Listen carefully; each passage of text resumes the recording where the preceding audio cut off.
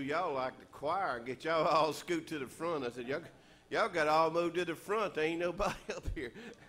I'm glad y'all are here today celebrating Jesus Christ.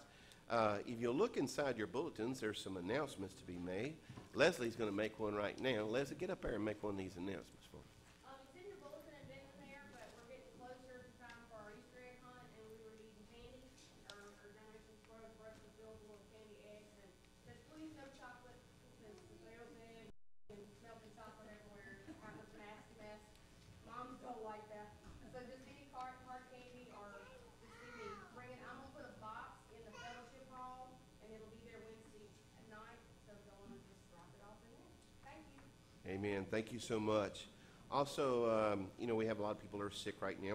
Uh, Brother Hilton is now, uh, as of yesterday, they moved him to the Baptist Hospital, and they're trying to wean him off his tracheotomy. It's not done yet, but uh, they, they're trying to. Uh, of course, remember, uh, we have, we have a lot in the hospital, so it's best just go by that list on back of there. We, we have a lot. And my mama had a, uh, another little spell uh, Friday, and then last night my daddy had a little spell. So, um, so uh, remember Tedra, because that woman is working hard, and I'm scared she's gonna wear out, and I'm gonna have to get a new wife around here. What are you doing? did, did y'all hear him gasp when I said that? oh, I tell you what. No, no, y'all know I'm joking. That we we uh, Tedra watch it. She'll watch it. She'll beat me up later. Got to keep her gizzard from going dead.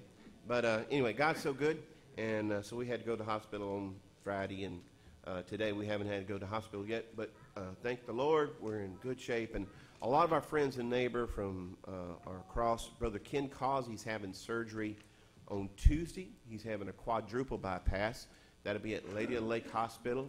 Uh, that's Ken Causey, so remember him in your prayers. And uh, Miss Pauline and Hilton and uh, all the rest of them that have been going through sickness and stuff. Give them a, give them a card. Give them a, uh, just send them a little prayer in the name of Jesus Christ. Uh, remember everything on our bulletin right here. And uh, we'll just continue on in worship, all right? Praise the Lord.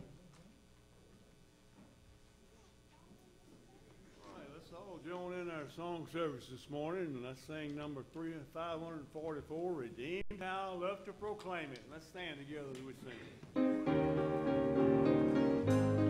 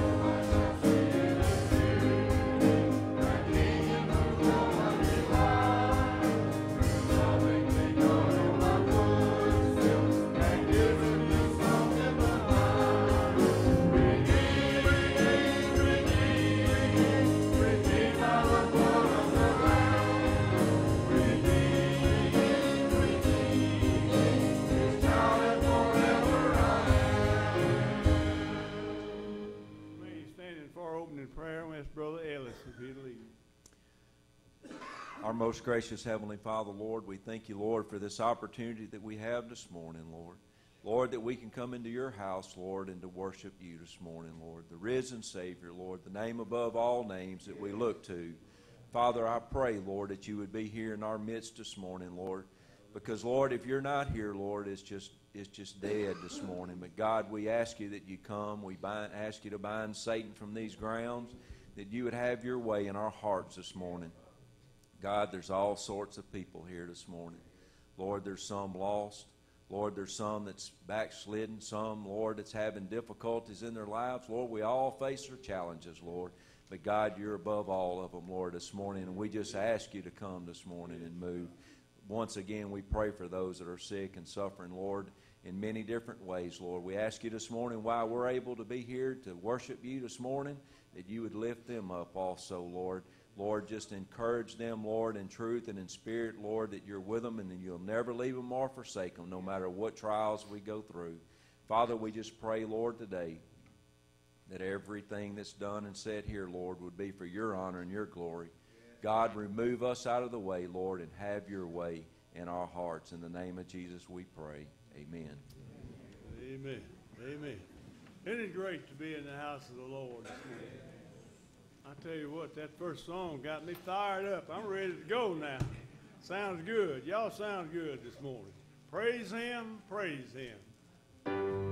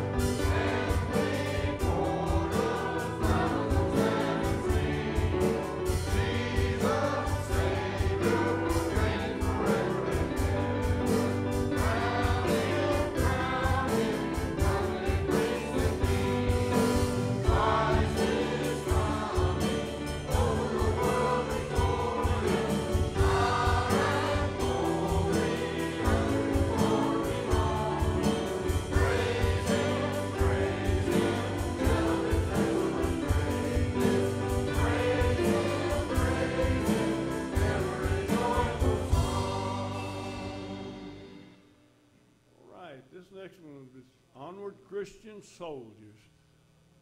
And this will be our offertory hymn, so let's stand together again as we sing.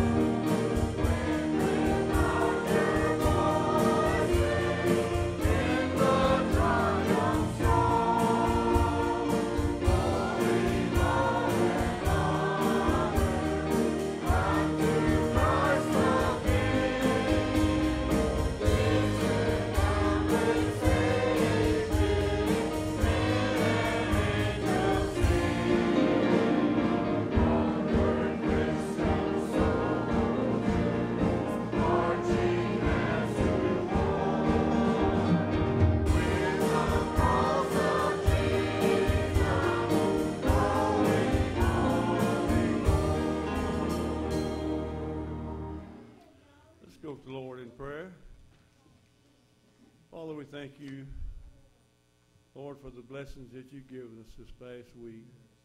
Lord, we thank you for keeping us safe, Lord, and we know, Lord, that we couldn't make it if it wasn't you for, for you guiding us and leading us, Lord, from day to day. I ask you now, Lord, to be with us in our service this morning. We ask you to lead, guide, and direct us in everything that we do, Lord, that it be done in accordance to your will. Lord, I pray for this time of our service that you would bless the gift and the giver. Lord, and may it be used to glorify your name. These things I ask in your name. Amen.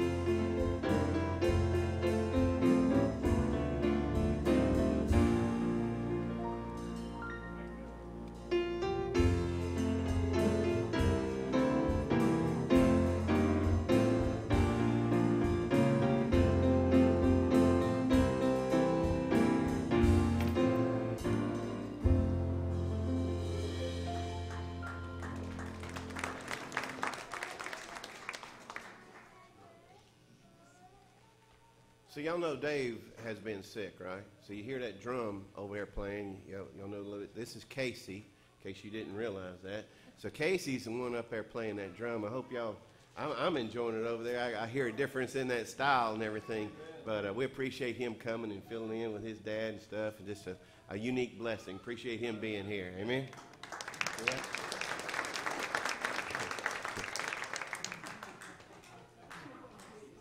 Eddie, you know and I'll say, Eddie says, he's better looking than Dave. He just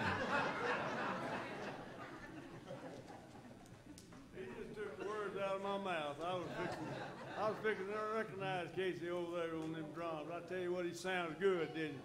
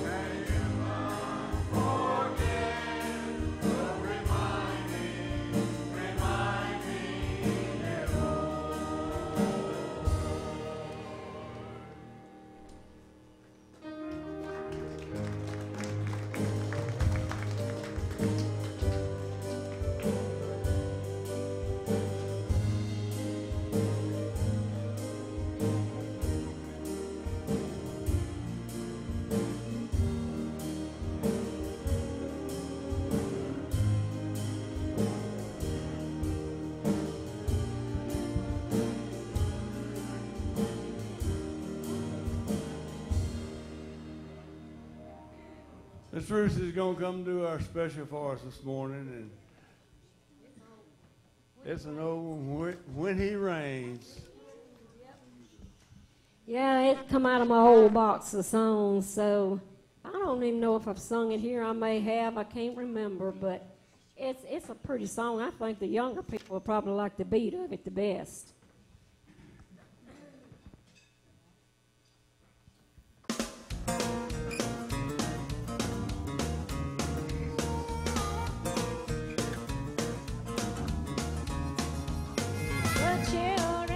Israel walked the desert. For forty years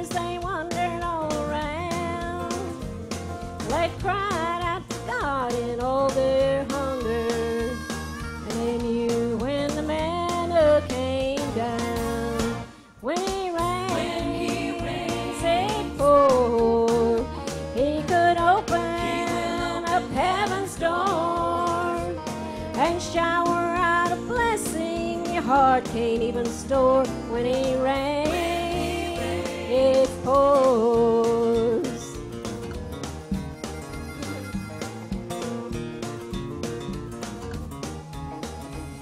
there were five thousand on a hillside and a multitude were waiting to be fed now folks still wonder how he filled them. Just two fish five loaves of bread. When he rains, it pours.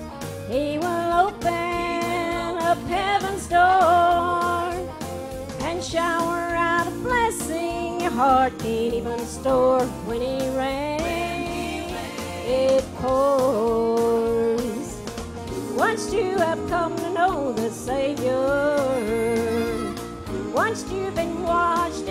Blood, prepare your heart to overflowing, cause it's about to come flood. Oh, yeah.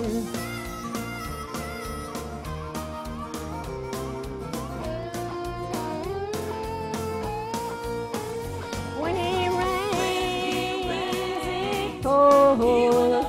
He could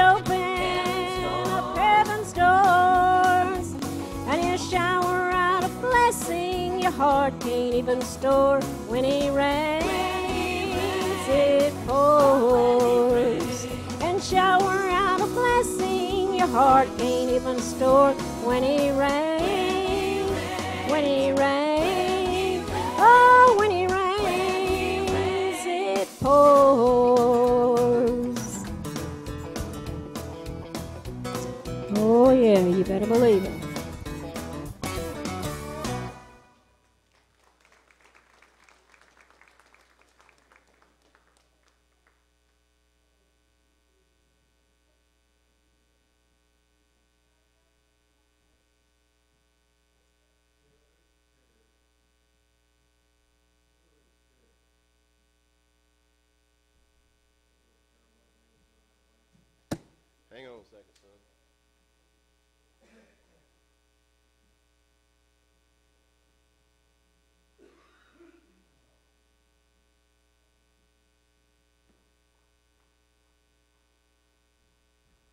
You'll open your Bibles up to Luke chapter 17.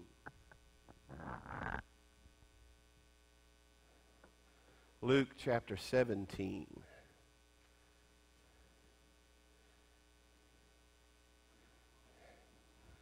So this will probably be something that none of y'all have. So I guess I'm going to be preaching to the choir. So this will be something that you can use for them other churches and everything that don't quite have this down pat yet. All right? Luke chapter 17, let's look at verse 3. If you can stand with me. We're going to read the Word of God. This is your answer. This is your help. Get your pen out. We're going to mark this. Luke chapter 17, verse 3. It says, Be on your guard. If your brother sins, and watch this, rebuke him. And if he repents, forgive him. And if he sins against you seven times a day and returns to you seven times saying, I repent. Watch this. Forgive him. The apostle said to the Lord, now, I want you to catch this. Don't, don't you think it's interesting right here when you go to those two verses, and then you get right here, and it says, the apostle said to the Lord, right here on this part, increase our faith. And the Lord said, if you had faith like a mustard seed, you would say to this mulberry tree, be uprooted and be planted in the seed, and it would obey you. Which of you, having a slave plowing or tending sheep, will say to him when he has come in from the field, Come immediately and sit down and eat? But will he not say to him, Prepare something for me to eat, and properly clothe yourself, and serve me while I eat and drink, and afterward you may eat and drink? He does not thank the slave because he did the things which were commanded, does he? So you too, when you do all things which are commanded you, say, We are unworthy slaves. We have done only that which we ought to have done. Let's use that as the words that we're going to be preaching on today. Father, we thank you, God, for the holy word. I thank you, Father, that, Lord, throughout our lives that you have given us direction. I thank you, Father, that we have opportunity to hear the word today. We lift up our brothers and sisters in Christ. So many of our friends and family, Lord, our loved ones have been sick and going through issues. But Father, we thank you that they're never alone and that we're never alone. I pray that the Holy Spirit will speak to our hearts today. Have your will and way. In Jesus Christ's holy name we pray it. Amen. You know, so I've, I've been kind of pondering this as different situations happen and stuff. And, and as I was looking at this scripture, some of the wor- voices and the words right here just kind of jumped off the page and started just kind of catching my, t- my attention. You know, bitterness is kind of like a malignancy. You know, it's something that gets into your life and it really sours you. Now, I'm, I'm confident that most of you have never even had something like this. But you know, some of us have been through things in our lives where there's things that happen where we get bitter. And what happens when you get bitter, it starts making everything around it sour too. It, it's intense. It's something that's inside of you. Uh, any you ever have indigestion? That's where the acid starts rolling up in your guts and they, they start giving you little pills to kind of calm that acid down. So, what I'm telling you, in our lives, if you're not careful, you can let things come up that make you sour, they make you bitter. And what you need is the Holy Spirit to give you the wisdom to calm that stuff down, to get rid of it, to remove it from your life. See, when you get bitter and you get sour in life, it has consequences that are far greater than just what you think. When it starts affecting your emotional, how you look at things, how you see this world out here, and it starts affecting your health, believe it or not. It starts giving you uh, a spiritual kind of indigestion. I even read an article years ago about a particular fellow who was just having these severe migraines. And they were so severe that the only thing he could do was take heavy narcotics to get rid of it. It would put him in a room, and he would have to turn out all the lights, and he'd have to close all the curtains, and it had to be total blackness because his head hurt him so bad. So he actually started going to a counselor to try to deal with it because he didn't like all these narcotics that he was having to take. And as he was going up there, what the counselor found out that a lot of what he was dealing with was a result of things that he was carrying from past. You see, it seems he had been divorced over 20 years earlier. And in that divorce, he had developed a hatred. He had went through a really bad, bad divorce, and they were angry in every single issue from the children to property to everything they dealt with, even the dogs they had fought about. And it had left him so bitter that he, even 20 years later, was still holding on to that problem back there. Even though he had been divorced all those years, he was still looking behind him out of this pain. Now, what was even worse is in this is the counselor found out that the woman had been dead for 10 years. So even though she had been dead, he's still packing this weight. And the counselor had went to him. He says, "Listen, man, uh, it doesn't do you any good when you have some kind of bitter feelings towards somebody who's alive. But when somebody has already passed, what good is all this bitterness doing you? How is it helping your life? So this man actually took and started looking at what was taking place in his life. And through the power of the Word of God, the power of the Holy Spirit, he was delivered and set free from the bondage of the chains that he was carrying with him. Matter of fact, when he went through this, God not only set him free of holding that hatred towards somebody who had passed away, He set him free from that headache. As he went, the further he went, the further the, the pain in his head went away. Isn't that interesting when you find out that things like that affect your health, affect your life? So in Luke chapter uh, 17, right here, we see where Jesus is coming up his, to his disciples, and what he's doing is he's instructed them with some, some suggestions on how to deal with anger, how to deal with this bitterness that can get inside your gizzard and start making you sour towards people. So the Lord talks about that we should handle it in certain ways, and one of the ways is we should handle this bitterness in ourselves in an aggressive, but also have to be courageous in dealing with the situation. It's an alternative to what the world says. It's an alternative to what all the other religions of the world says. God gives us instructions that are totally different. So one of the things the Bible encourages us to do is to go forth to the somebody who's done something against you and you feel that they've wronged you. He says, go to them in a loving way. Now, that's not the typical pattern that we like to use. When something happens to us, the typical pattern is, is we tell them to bop them upside the head. We tell them to go over there and strike back at them. But what it says that not only should you do it lovingly, but you should do it in a truthful manner. You should go and confront them with the situation of how you feel about it. So what this passage does is it gives the person that's been offended, the party that's, that has this hurt in their life, the responsibility for the open communication with the individual that hurt you. But what is our tendency to do? When somebody hurts us, what do we do? Do we go to that individual the way Scripture does? Do we go to that individual and say, you know what, that hurt my feelings? You see, we take it as a sign of weakness. God says it's a, a sign of strength. See, everything in the Word of God has always went against what the world tells you. But we're still grabbing hold of what the world says, and we say, well, this is the way we should deal with it. So you wonder why the churches have the problems we do, is because the situation is we take Oprah over the power of the Word of God. We take the psychologist from off the TV channels or your computers and stuff over the Holy Spirit giving us instructi- instructions and teaching us the truthful way to go. So some of these, if you look back, is some of the New Testament scriptures. What it does is it requires the person who's created the offense to initiate it.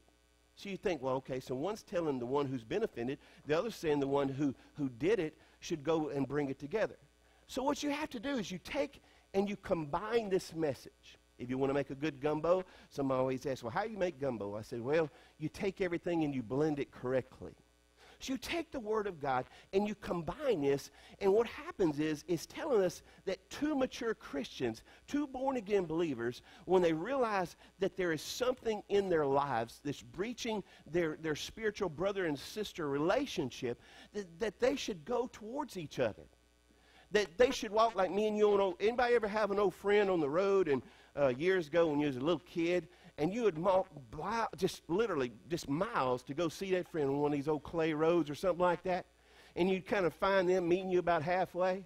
How about this? This is what the word's telling you. That literally you should meet each other going because each one of you realize as mature Christians that there's a problem and approach each other in a loving way and just deal with the situation. But what usually happens is the opposite. What usually happens is, is we start dealing with it by the power of the phone or something else. Now they use the uh, computers a lot to, to just gossip or talk bad about each other. Against it goes totally against what the scripture says. But if you want to resolve the problem, if you want the problem healed, we got to take the word of God as a truth. You know, I was thinking, so you can take like grain. Now, some of you are going to snicker at this, but this is what comes to my brain. And you can take the same grain that you make bread with, that you can make uh, pies with, you can take that same kind of grain and you can put it in a bucket and you can sour it. Now, when you sour it, some of you hopefully don't do this anymore. It becomes what they call a sour mash. Now, I don't know if you've ever had this, but I used to have, you know, I deal with a lot of people and stuff. I used to have guys that made moonshine. Now, I know y'all have never dealt with that over here in Mississippi. I'm confident of that because that's just something they'd do down in swamps in Louisiana and stuff. But they'd make that moonshine, and even though it looked clear and it looked like water, it wasn't. It was never totally clear. It always had a fuzzy look to it because of the alcohol content. And the same grain that could make bread, the same grain that could feed your body, the same grain that can make you alive, you can take this fermented grain that's soured inside of a bucket and it can make you dizzy. It can burn the inside of you. One of my, you know, I, I had years ago, I've had this a problem with my liver. And the doctor told me, he says, Now, do you drink? I said, Well, no, I don't drink. I'm a Baptist preacher. He says, That don't mean nothing. I said, Obviously, you belong to a Baptist church. He says, I want to tell you something what people don't realize. He says, People tell you all the time that you should have a glass of wine. He says, I'm here to tell you, as soon as you take just that swallow of that wine, multi millions of your cells inside your liver, which believe me is a very important organ in your body, are killed when you receive it. I said, Well, the heart doctors all say it's good for you. He said, But they're not looking at the whole picture. They're looking at one particular situation. He says, You get the same benefit from unfermented grape juice as what you would with something with alcohol in it. He says, and I'm going to tell you this, it goes further than that. And he went through a whole list of all the damages that's done to your mind and your body from just that alcohol, which is actually, listen to this, the reason you get what you think is happy when you're drinking alcohol is because it's poisoning you. Did you know that? You're actually, when you drink that alcohol, it's poisoning your body. Now, this is not nothing to it. This is all free, so this don't count against my time, so don't even start your time. this, is, this is things that are destructive to your body. Well, think about bitterness. When we let bitterness get inside of us and we think we're doing something to somebody else, what you're actually doing is souring something that should be good. See, when the Holy Spirit fills you, there should be a joy and a peace that passes understanding. But what happens when you're angry at somebody? What happens when you, when you resent somebody? What happens when you feel hurt by somebody? How's your sleep go that night? Do you go to sleep like, oh man, this is the best sleep I've had in just months and years? No. What do you do? You sit up and focus on it. Here's the next thing. So when it sours into you, you will do stuff kind of like you do on alcohol. You do things you normally wouldn't do. You say things you normally wouldn't say and you have problems and you can wreck your car and you can get in trouble just because we let something sour in our system. So, what Christ does, He comes to us and He tells us that we should, if this happens to us, the Lord said seven times is not enough to forgive somebody. It should even be more than that. That same person who's, in, and what happens is we come up and say, No, Brother Blaney, you don't understand. It, says, even in another scripture, it says 70 times 7. It, it, multiplies it over. Jesus says, We're to forgive the individual who hurt us. Uh, I'm just, now here's what, here's what I've actually heard out of somebody's mouth I'm just not made that way.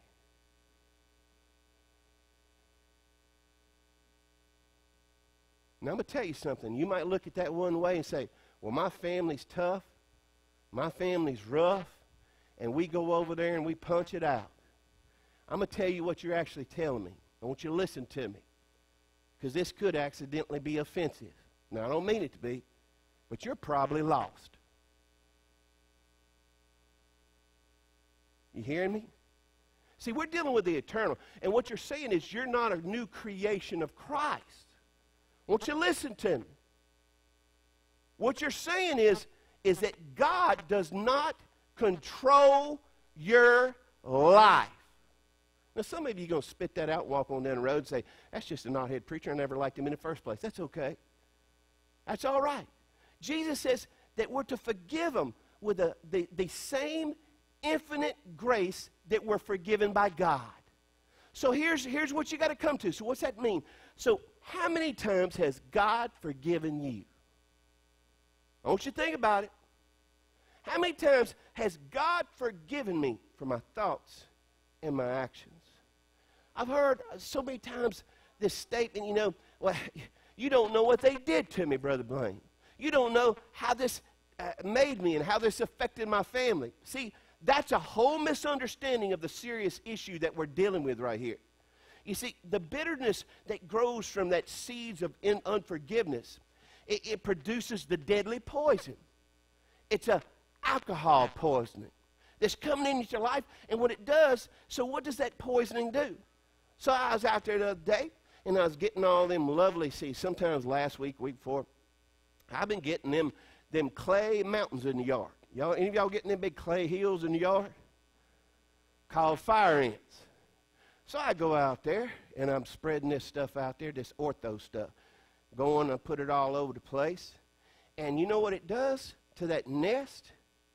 It kills it. Now, here's what's more interesting. This sounds terrible. But y'all know I'm just, just plain. There ain't much to me. I was looking out the other day. I killed two birds with one stone. Guess what was eating them dead ants? The crows. Guess what I got? I killed the ants and I killed the crows. I told Tedra, pick me up a couple more bags of that stuff. I want you to think about it. See, when we have this resentment in our lives, what it does is sometimes we even pass it on to the generations behind us, giving reasons of why or excuses why we can dislike somebody. And all that poisoning, so it doesn't only just affect me, it affects the people who surround me, and it affects later generation. And what it does, it destroys me, and it can destroy your whole family. So, you ever recognize like just what it happens when we start getting bitter in our lives? Have you ever understood, have you ever listened to people? You can hear it not in this church. It'll be some other church, something like that. Might be one them Franklin County churches. It ain't ours. I just want you to know that. I know you're visiting, so it ain't over here. But what happens is, is you can start seeing people just inside the church and they get cynical and they get critical and they start getting a really harsh tongue. You ever heard that said? Have you ever had somebody say, well, you know, they have just such a harsh tongue? And, and they, let me tell you something. What you got to recognize is that is the problem. Inside of them is this bitter poisoning that's taking place in their life. I told you this illustration before, but since y'all visiting from Franklin County, I'm going to tell you, you might have heard it because y'all been here several times before. So listen to this. So I used to have a dog. They've all heard it, so this is just for y'all. So I used to have a dog, and he's part German Shepherd, and he was part Beagle. It's a beautiful dog. Strangest thing you ever seen in your life. But that dog was really big, and it was really healthy. But one day I seen that dog out there, and it was dragging its back legs. And the reason it was dragging its back legs is because, and I went out there, I thought, I said, I didn't know what was wrong with it. I thought it had some kind of terrible disease, one of them puppy diseases or something like that. I didn't know what was wrong with it. I said, oh my goodness, I'm going to have to shoot this thing. I go out there and, and I look at it, I think, I, I never thought about taking to a vet. I ain't never thought about that. I was thinking about putting a 22 in his head. Ain't that awful? but I went out there and, and I noticed that he had a, a tick on him. And that tick had bit him in the spine, and in that spine, that poisoning had numbed his whole back quarters. Now, here's the thing when that particular problem, that particular uh, pestilence was removed from the animal, just within just a short period of time, that dog that I thought I was going to have to shoot was up and running around and healed. See, we don't understand a lot of times that we're seeing the symptoms of a bitterness in our hearts. And we don't realize it's paralyzing us spiritually. It's affecting our thought processes. You know, people that get through this all the time, they get hurt all the time, you know what they do? Is they start looking at everybody around them that everybody's that way. Everybody's out to hurt them. Everybody's out to take something from them. Everybody's out there doing something. People that way, you got a parasite. And it's sucking your spiritual welfare out of you. And it has to be removed. You got to put it far from you. You got to be aggressive with it. It talks about in verses 5 through 9 right there that we should forgive because, eh, look, because you want to be obedient to the one who saved you. So are you a child of God? Have you been forgiven by, by the blood of the Lamb? Has, has Jesus Christ, have you surrendered it all to Him? It, it, we don't forgive because we just feel like it. It's not because I, I, I just want to do it. It's because God told me to do it, and I want to be obedient to my master. Now, we don't like saying that a lot. But see, we're supposed to be the slaves of Christ. So the disciples, they responded to this commandment of Jesus by saying this one thing, and it- it's so incredible to me. They said, "No, Lord, increase our faith." Don't you think that's strange when you read that? I look at that, see, because we're saying, uh, increase our faith. They, they weren't saying that they couldn't do it. They weren't saying that it wasn't possible. But what they were saying is that God was going to have to empower them to be able to do it, to give them the strength to do it, to give them the unction to do it. See, Christ indicates that the real issue here is, is in our faith. It's not my faith issue, but what it truly comes down to is obedience. We look at our children, we get so frustrated with our children. But see, we're like that. It's whether we're going to be obedient to the word of Christ or not. It's whether I'm going to let him discipline me. Says we, the older you get, the less we want to listen, and God wants us to listen. You want to know something? Study the Word of God. Be obedient to the Word of God. Jesus says, If you love me, you keep my commandments. You hear it all the time. He says, If you love me, it's not because He's got you chained down, it's because you care. You love Him. You know, it, it's, it's about a servant who returns, you know, in, in the scriptures here, it, it, talks about that servant who returns from, from working hard all day in the fields. And they've been working out there right alongside of the master. But here it is the servant goes in there who's been sweating and working right there next to the master. His job is to go in there and to prepare the meal for the master. To go, even though he's tired, even though he, he's hungry, even though he has a, a, desire to, to, to get things, you know, done in his life, other stuff, he says, no, the master comes first. The servant didn't feel like it, but he did it anyway. See, sometimes you don't feel like forgiving somebody. Sometimes you don't feel like going and getting things right. Sometimes you think it's everybody else's responsibility, but what it's telling you is that it's your duty as a child of the king to get things right. As a servant of God, it's our job to forgive somebody. That's right. It's labor. You got to work at it. You got to work at it. You got to do this if you're going to see the power of God manifest in your life. It's not an option. Nowhere in this scripture do you see that as an option. So I would say, I love you, Lord. I love you, Lord, as long as you do it my way. And God's saying you've been doing it, you've been doing it long enough your way. What it's time to do is to do it the master's way. He's saying, This is how you do it. And you don't get an option. It's not, well, well Lord, what if I, what if I, what if I do? You know, I, I, just say I take two steps and, and make them take two steps. You know, if they're a child of God, they should be running out there to meet you in the first place. But here's the deal. Don't be dependent upon them. Be dependent upon your relationship with Christ. See, we should forgive out of obedience to God Himself, not because the offender deserves it, not because, you know, they've done something to, to really, you know, their, their position or something th- like that. It's nothing in this passage that relates to the person's worthiness to be forgiven. It's not because it's just your family member. It's not just because they hold a position of power. It's because it's right. That's what God's telling us. God doesn't gauge the forgiveness of, a, of sinful humanity someone like me by my worthiness, by what I'm doing as a pastor.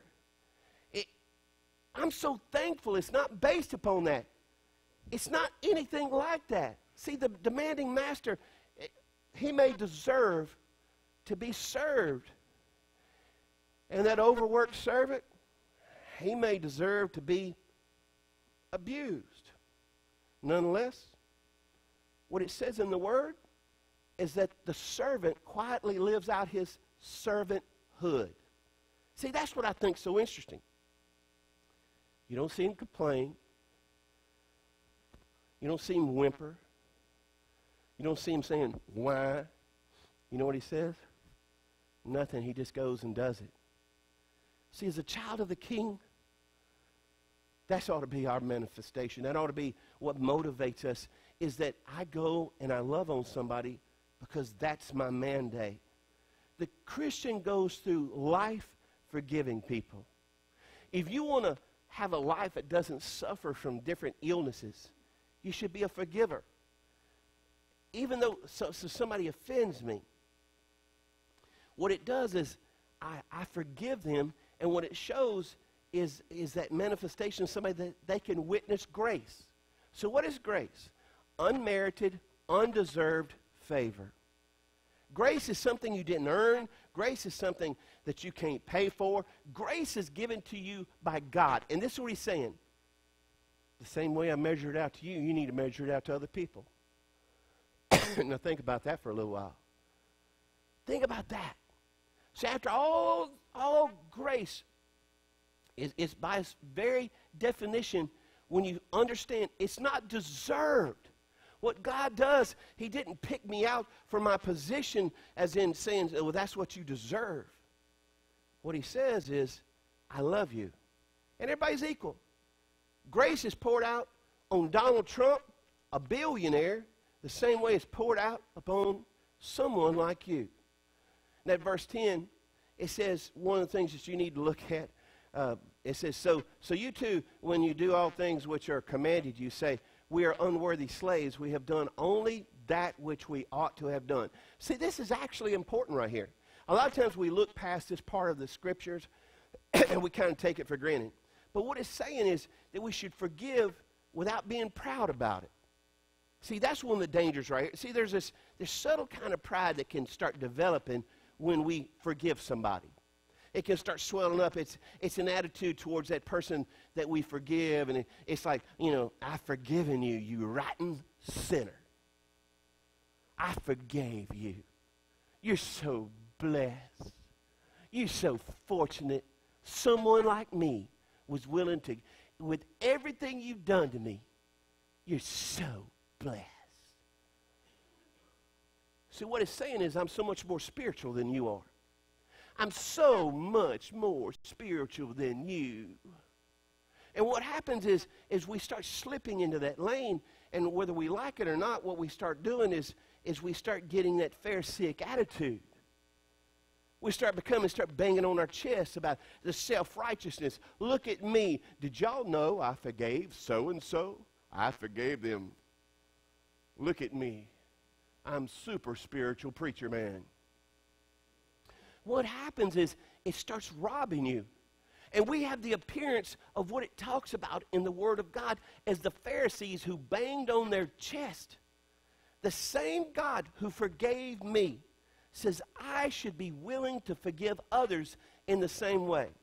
So now, now here's something that's so important here. There's some, there's some really big reasons why not to be bitter. See, we forgive for Jesus' sake. It's, it's an act of, of devotion for my love of Jesus Christ, and we forgive others for, for, for my sake. As bitterness is, is so destructive in my life, and forgiveness for their sake. Because forgiveness is God's love following through us eh, to affect others. As I forgive them, I'm showing the love of Jesus Christ.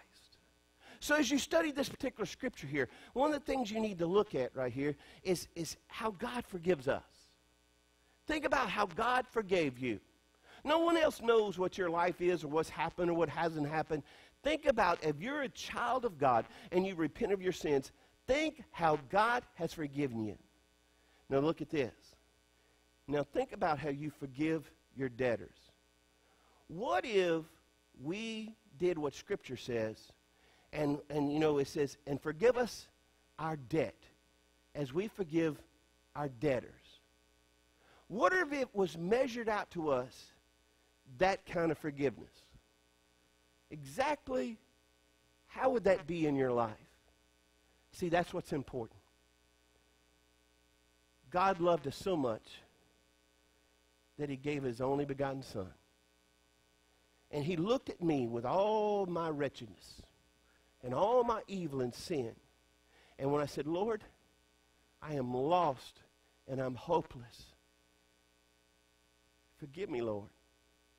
And with everything that I've done, everything that I used to be, all my previous attitudes and actions, and he says, I'll die for you and I'm going to take your debt. So, I bought a truck the other day.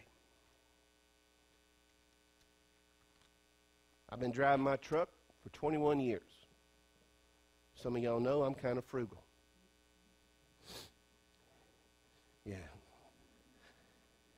It's pain. They was even laughing at me at the dealership. So I've acquired debt. And I'm going to tell you something. I hate debt. Any debt. Strange. But think of this.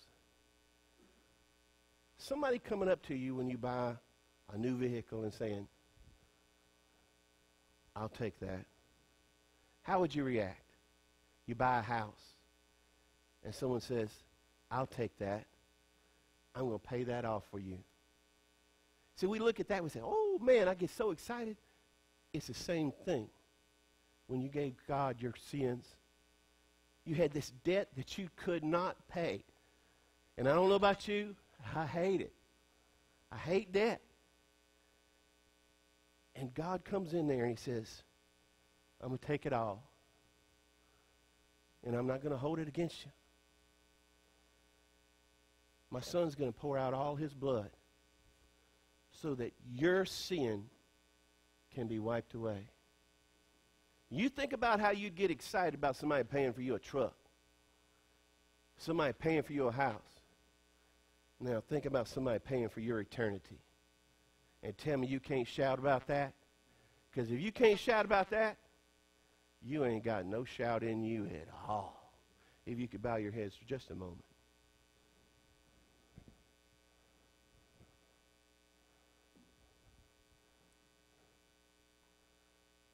Brother Raymond M's going to come down. We're going to play an altar call song. That same one. Without him, I could do nothing. Without him, I'd surely fail. Without him, I would be drifting like a ship without a sail. Today, if you've never given your heart to Jesus Christ, I want to give you an invitation that will change your eternity by giving your life to our Lord and Savior, Jesus Christ. It doesn't matter what age you are. That don't save you. It don't matter how good you think you've been. That don't save you. It don't matter how much money you put in the plate. That don't save you. It's by saying, Lord, forgive me. I am a lost sinner, and I ask you to save me. That is a decision that you need to make. Maybe you've been under bondage of having some things in your life where you've been hurt. I dare to say that sitting out here, there's multitudes of people that have been hurt. All of us at different times. I may kind of tell little jokes and stuff to lighten the moment. But the truth is, we carry a burden sometimes. And it's a burden you don't have to carry. It's a weight that you don't have to keep with you. Let me ask you, how long are you going to keep dragging that thing around? When are you going to lay your burdens down? Today, these altars are open up front. Maybe you want me to pray with you, pray for somebody, pray for somebody else's salvation or deliverance. Maybe you just want me to pray with you. When we have an altar call, you are more than welcome to come. And listen, we got Brother Ellis sitting right down here, too. There's more than enough preachers to go around here a few dozen times. Brother Sadler's here. We got lots of preachers. All you got to do is come. God wants to meet you where you're at. Won't you come this morning as they sing? Without him I could do nothing. That's right. Without him I surely fail.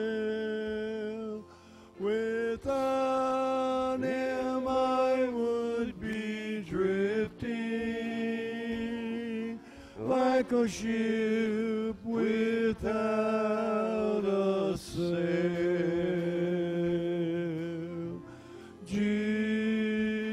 Jesus, oh Jesus, do you know him today? Do not turn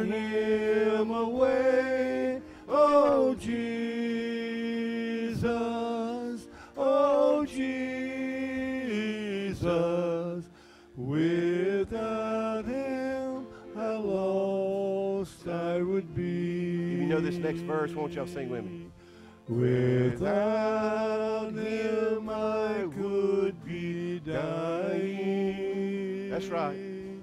Without him, I'd be enslaved.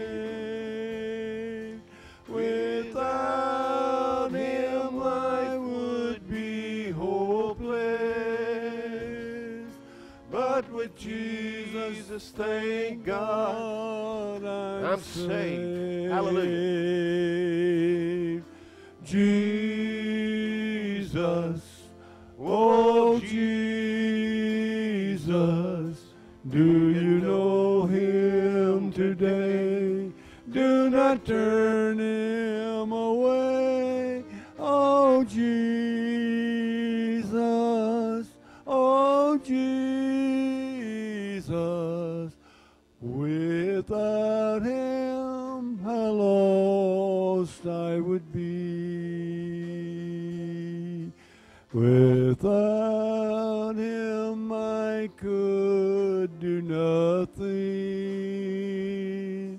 Without him, I surely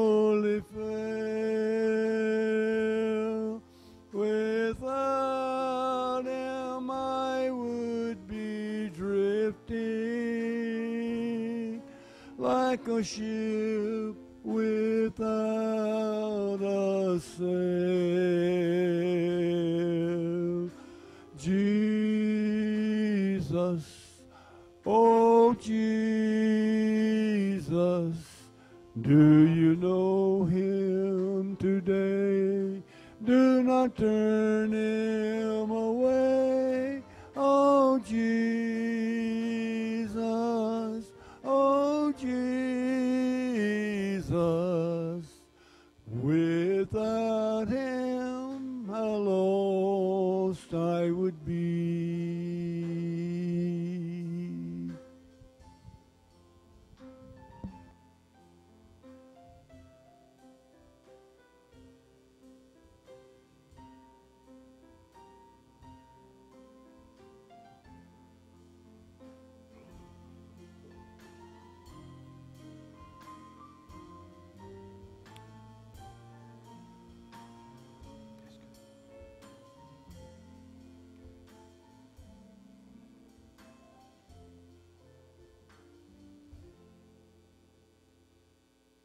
Father, we thank you so much that we can be here today by the grace of God to be in your presence, to feel your love and your compassion. Thank you, Father, for loving us, for, Lord, being forgiving to us. We pray, Lord, that the Holy Spirit will give us a heart like that. Give us eyes, Lord, with compassion. And, Lord, that we can forgive those who've hurt, wounded us, trespassed. For, Father, we know so many times in our lives that we've done that against you. And you've always forgiven us, God. So, Lord, we claim it in the name of Jesus, the Word of God. And we pray for, Lord, as we walk this old world, that we'll be an example to others of grace. In Jesus' name we pray it. Amen.